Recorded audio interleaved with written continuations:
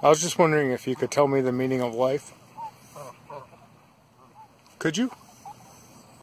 What are your thoughts on the upcoming election?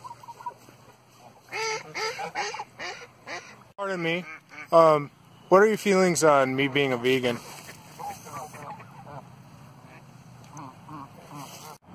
Now, before anyone lectures me on being a bad vegan because I stressed the geese out, I just want you to know that those seemed like some very, very lonely geese that needed some social attention.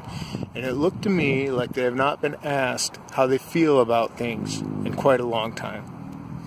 And you probably have a point, and I probably will never do that again.